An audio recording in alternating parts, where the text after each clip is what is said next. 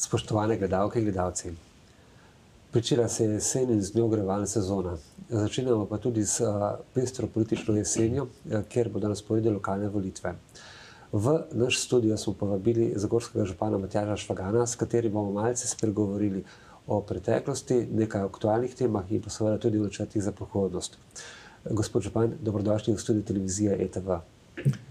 Hvala za vaše povabilo in lep pozdrav vašim gledalkam in gledalcem. Pa začniva malce za nazaj. V avgustu je občina Zagorje praznovala svoj občinski praznik. Po dveh letih smo bili spet lahko vsi prisotni na prireditvah brez omejitev. Kakšni so ti občutki?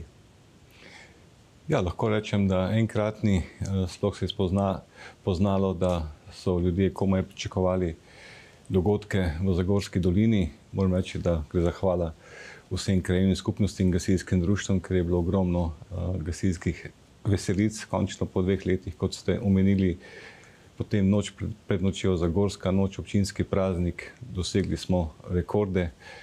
Po obisku vseh teh letih govorimo o več deset tisoč obiskovalkah in obiskovalcih na vseh prireditvah in moram reči, da smo šli v pravo smer v preteklosti, kot tudi v letošnjem letu. Seveda je pa pomembno, da smo se pohvalili z ogromnimi pridobitvami v naši Zagorski dolini. Množične prireditve so precej dobro obiskane, opažamo pa, da so pa kulturne prireditve, ki pa niso odprtega značaja oziroma tako širokega značaja, pa precej manj obiskane. To lahko govorimo tako za kino predstave kot obiske raznih galerij. Kaj mislite, da po tem, po vašem mnenju botruje temu? korona je sigurno dala en pečat, veliko je bilo vzponov, padcev v času korone, veliko neznank. Opažamo tudi, da pri društvih, športnih društvih so generacije, ki so enostavno zapustile svojo dejavnost, da je manko njihovih udeleženk in udeležencev, prav tako tudi na kulturnem področju. In sigurno je zaprti prostor eden izmed tistih, ki še vedno daje eno bojazen pred obolevnostjo covida devetnajst, korone. Če je stvar na prostem, kar smo lahko videli tudi v okviru petkovih večerov, ko so ljudje bolj sproščeni, nimajo nekakšnih v sebi še omejitev, ki so bile v preteklosti, mogoče bojo celo v v prihodnosti, ampak bodimo optimisti, kot sem jaz vedno bil in bom tudi v prihodnje. In sigurno bo potreben en čas, da se bodo ljudje vrnili tudi v te prostore, kot ste jih omenili. Pa se dotakniva malce okoljske problematike. V preteklosti, v poletju smo bili priča požarom, ki so pestili Slovenijo, predvsem na Krasu.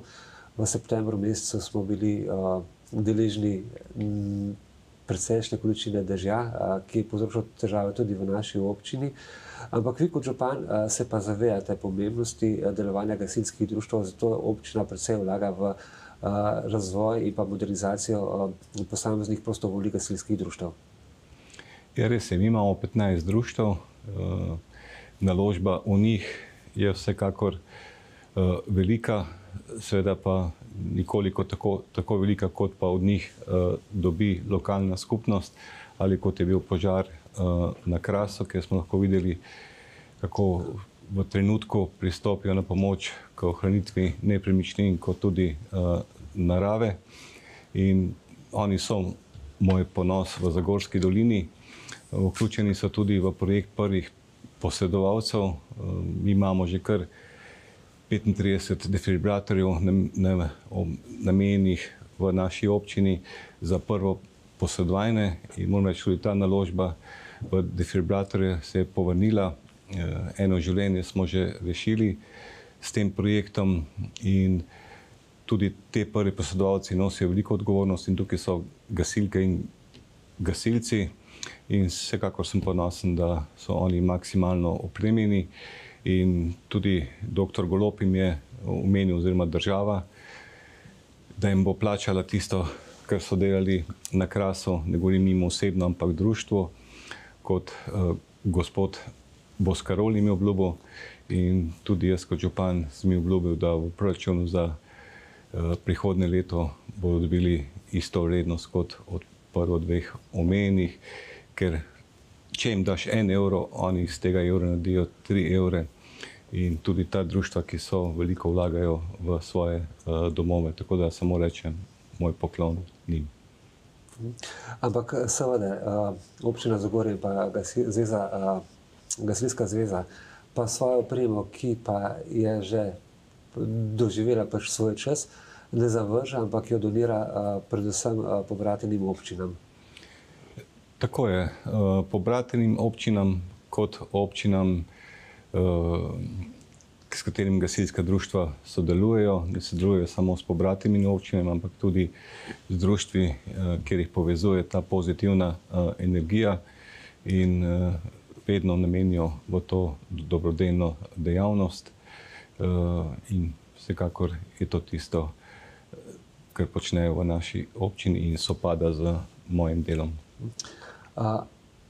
Pa se vrniva malce na investicije. V preteklem letu je bilo izvedenih oziroma končanih kar precej večjih investicij. Med njimi gre tu za glasbeno šolo oziroma vilo Medea, sanirana je bila, energetsko sanirana je bila telovadnica Osnovne šole Toneta Okrogarja, povedimo še mogoče malo manjše, kot so obnovitev oziroma sanacija pokopaliških poti, potem klančina pri lekarni. To so vse stvari, ki so bile uspešno izvedene. V sedanjem času se pa pripravljajo oziroma že izvajajo novi projekti.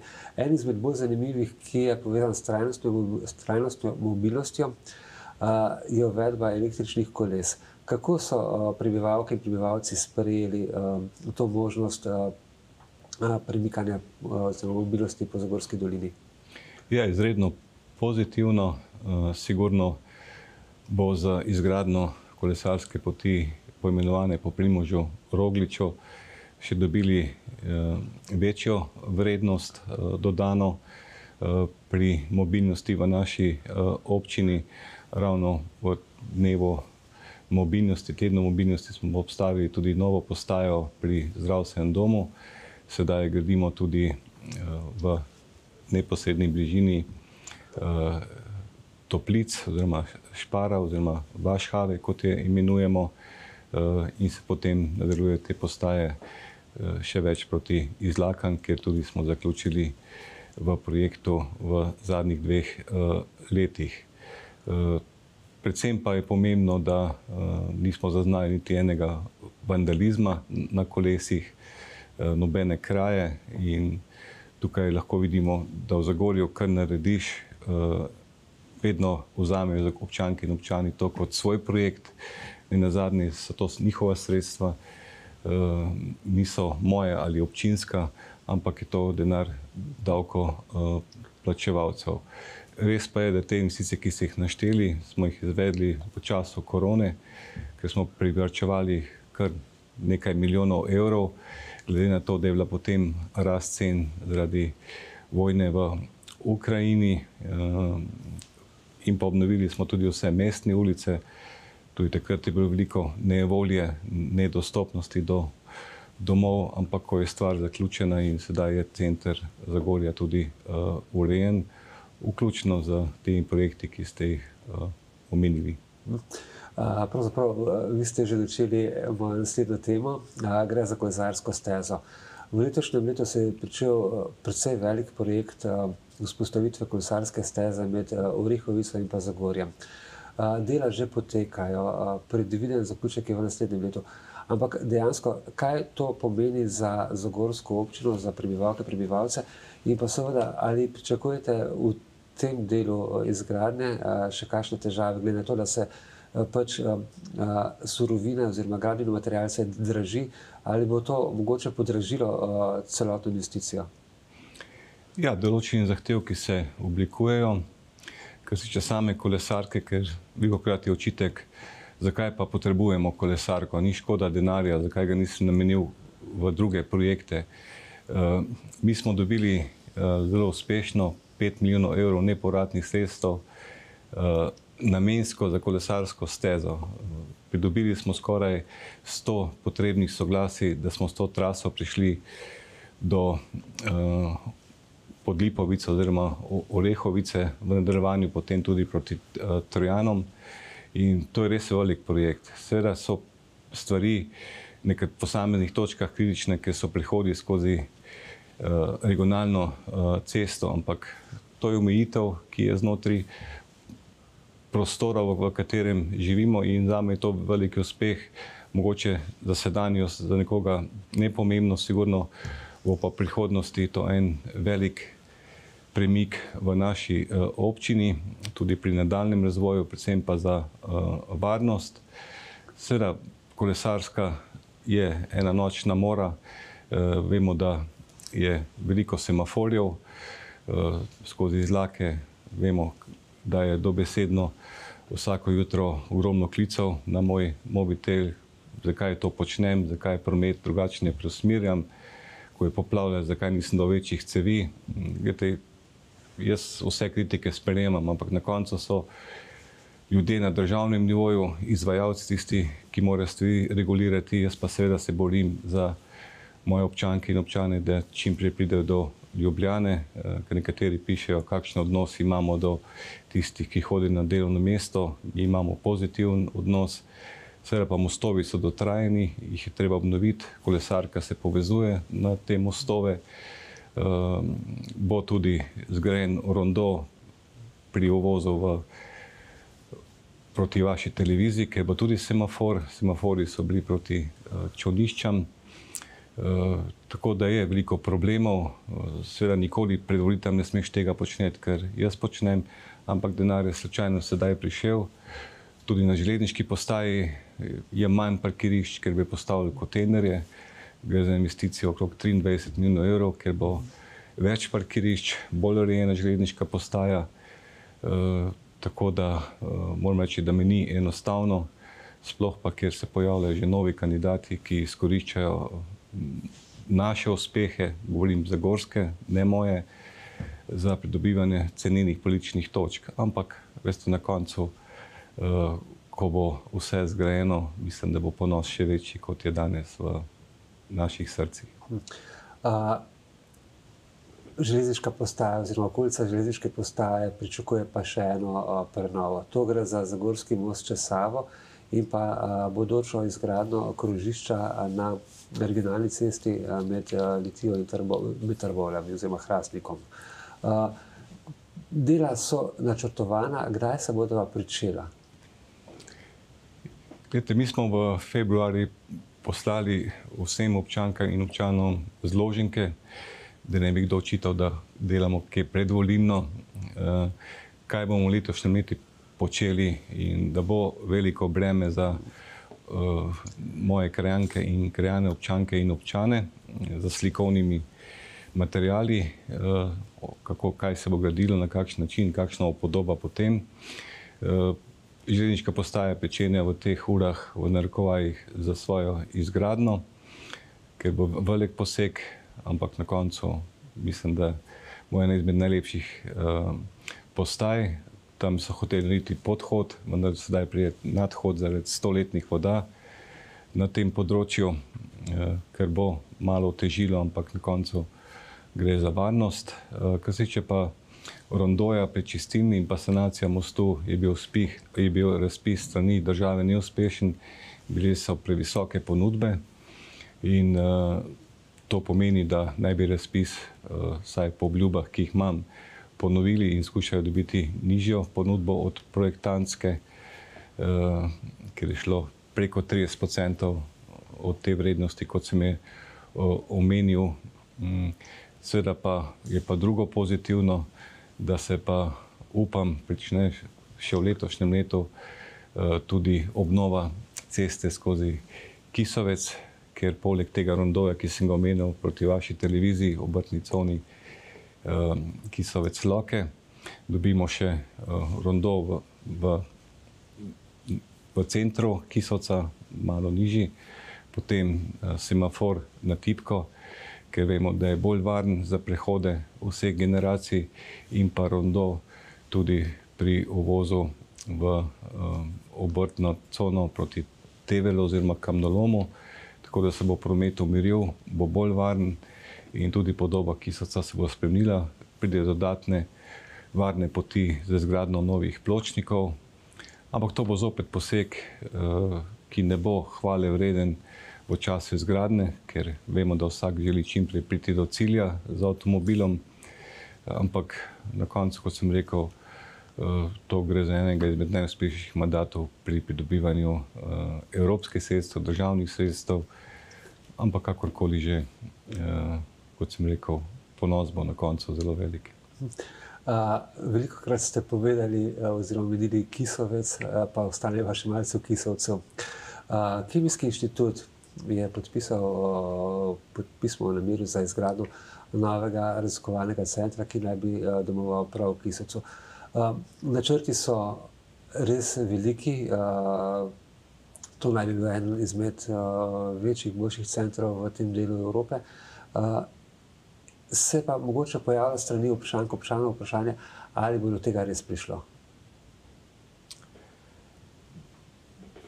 Gledajte, veliko je bilo mojih idej, kaj ti če ne sanjaš, uh, ne moreš sam tudi uresničiti ali pa svojih želj. Kar se tiče kemijskega inštituta, gre za investicijo okrog 30 milijonov evrov. Mi smo to predstavitev imeli že v delavskem domu, ker je predstavil to kemijski inštitut. Gre za inštitucijo, ki ne igra, ki ne blefira. In če nekdo predstavi takšen projekt, jaz v njega verjamem in sem pričan, prepričan, da bo do te investicije prišlo. Takšnega inštituta ni od Aten do uh, Minhna, gre za brezoglični um, center za razvoj vodika in pa baterij. Uh, in to bo tudi en izobraževalni center študentov iz Ljubljane in pa iz Maribora in največjih strokovnjakov, in tudi ta, ta uh, oddelek bo vodil tudi uh, največji uh, strokovnjak, uh, ki z dušo in srcem živi uh, za to. Uh, tako da jaz sem prepričan, da ta projekt bo uspel in podpora že je, gre za sredstva pravičnega prehoda in to bo ena izmed največjih investicij v Kisovcu, ravno v teh dneh sem se pogovarjal tudi z gospodom Sandijem Češkom, ki bo tudi postavil pametno tovarno v neposrednji bližini eh, Siporeksa. Prišlo je do manjših zastojev, ampak tudi ta projekt bo predstavljen in tudi Sandi Češko je menedžer, je direktor, ki ne igra, eh, ki ne blefira, ampak je svojim delom pokazal, iz kakšnega testaja in kako je naredil uspešno zgodbo uspehov. In to pomeni nekaj manj kot 100 delovnih mest uh, takoj, sigurno pa je potem možno vse še nadaljnega razvijanja. Seveda bojo pa vsi uh, omenili, da so to predvoljne poteze. Samo eno od zgodb pravijo, sedaj kopleš, ko so volitve. Uh, in po tem rečeš, ko smo pa gradili, ko smo imeli telovadnico, uh, igrišče, potem eh, zdaj gradimo tudi Europark, eh, ulice mestne. Eh, tako da vse se giblje, vse se vrti, vse se spremenja v naši občini. Pa še ena sprememba se nam obeta. Podjetnik, hotelir, gospod Kranc, bo pričel z rušitvijo medijskih toplic. Pričakuje se pa potem v naslednjem letu začetek izgradnje novega hotelskega kompleksa investicija, ki je bila večkrat predstavljena, zamrznjena, ponovno zagnana drugač, v drugačnih oblikah. Sedaj pa, glede na to, da je bila investicija predstavljena na občinskem svetu, da je bila investicija oziroma izgled bodočega hotelskega kompleksa z baseni predstavljen tudi na spletnih platformah. Verjetno bo do tega res prišlo. Gledajte, to, kdo pa sem jaz tisti, ki bi to ocenjeval? Na koncu so vedno investitorji in tisti, ki imajo denar, ki lahko uh, govorijo, kdaj to bo, kako na kakšen način. Ne more politik govoriti, kdaj bo kaj narejeno, lahko je tisto, kar občina investira. Medijskih toplic ni projektirala občina, uh, ne jaz kot župan, kot nekateri očitajo, zakaj je toliko sob, zakaj je toliko bazenov. Pa kakšna bo cena pomfrija in koliko bo parkirišče. Jaz tega res ne vem in nisem pri tem sodeloval. Gospod Krajnc je suvereno na občinskem svetu projekt predstavil, gre v izdelavo OPPN-ja, kar pomeni, da bo tudi javnost imela možnost, da pri tem OPPN-ju sodeluje, ker bo šlo za javni dokument, za pridobivanje soglasij in drugo leto naj bi se šele pridobil OPPN. Kdaj bo pričetek z investicijo, bo pa sigurno gospod Krajnc povedal za vaš medij. Naša želja je edino bila in tudi on sledi svoje investiciji, da se objekt poruši zaradi varnosti, kajti vemo, da se na, v tem objektu nahajajo tudi osebe, ki ne spadajo v ta objekt, tudi zaradi varnosti otrok in vseh, in je obljubil, da naj bi to pred zimo tudi porušil. On je to kupil in če on to želi zgraditi in gre to pot, mu stojimo ob strani, seveda pa tudi kritično predlagajmo v pozitivno smer, kaj želimo v naši lokalni skupnosti in pa na tem področju imeti. Gospod Krajnc je razumljiva oseba, se da z njim pogovarjati, ampak kot sem še rekel, sem rekel, jaz nisem sodeloval in risal sob in zbiral ploščic ali poster, kot nekateri mislijo. Jaz zgolj sledim njegovi nameri in tudi občinski svet je prav, da je seznanjen, kaj se s tem tudi uh, dogaja. Uh, v vodniku so omenili, da se je pričela sezona uh, ogrevanja, uh, ki uh, je marsikoga zaskrbela. Vendar pa Zagorska občina, uh, saj uh, odjemalcem uh, daljinskega ogrevanja, uh, omogoča niže položnice, kot so bile v lanskem letu, kar je verjetno unikom v Sloveniji. Ja, res je to, moram reči, da so se karte pozitivno zložile. Mi smo imeli ponudbo na mizi pred uh, dolgimi leti, ko se izvaja tudi plinifikacija, da damo koncesijo tudi na plin na mestno kotlarno, ker smo dobili ponudbo, da ni potrebno nič nam investirati, in da koncesionar vse investira, in takrat je bil plin cenejši od lesnih sekancov. Mi smo se takrat odločili, uh, pa nismo vedeli, da ne bi kdo mislil, da sem kakšen veznarec, da se kaj hvalim, da gremo na biomaso, ker imamo več kot 60% gozdov.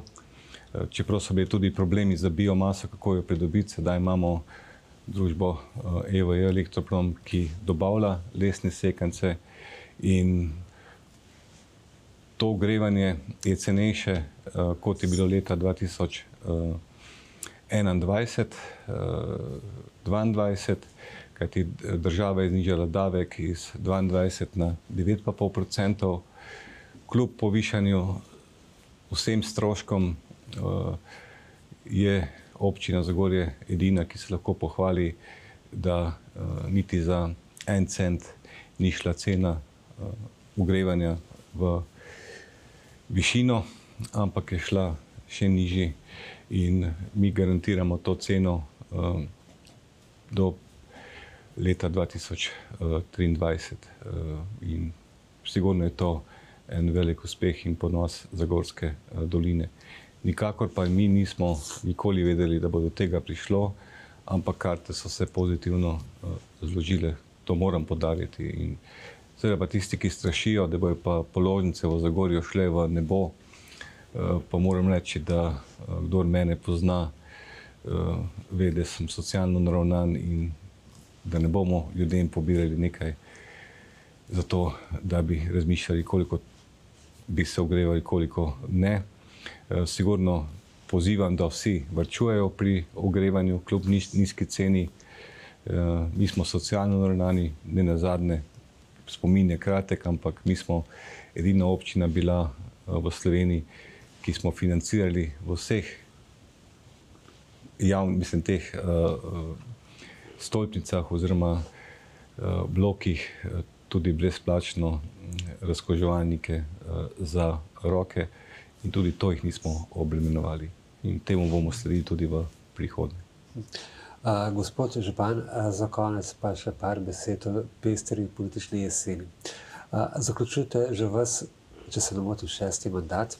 Uh, V tem času vašega županovanja se je Zagorje precej spremenilo. Ampak verjetno to ni tisto, na kar ste najbolj ponosni. Kaj je to? Veste, jaz sem najbolj ponosen na področje ekologije.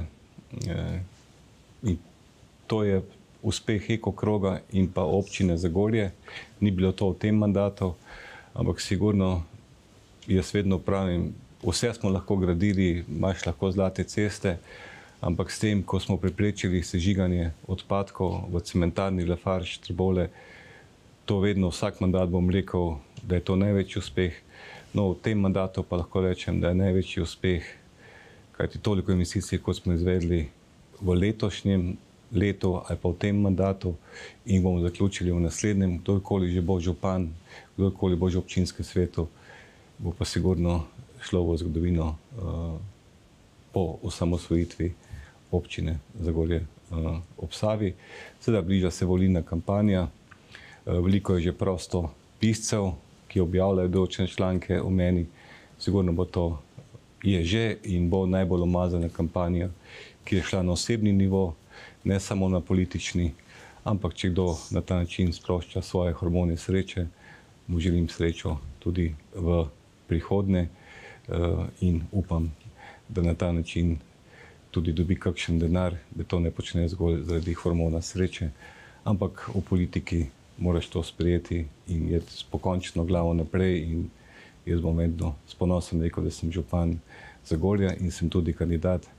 Če mi bo pospelo, bom pa rekel hvala, če pa ne, bom pa rekel hvala Zagorju, da sem lahko bil toliko časa župan. Uh, gospod Župan, uh, hvala za vaš obisk v naši oddaji. Uh, želimo vam, seveda, kot vsem uh, županskim kandidatom, uh, veliko sreče na prihajajočih lokalnih volitvah. Upam, da se tudi srečamo v, pri, uh, v prihodnji oddaji, uh, župan pred mikrofonom. Vam, drage gledalke in gledalci, pa seveda uh, nasvidenje in pa ob pogovoru z naslednjim županom ali županjo.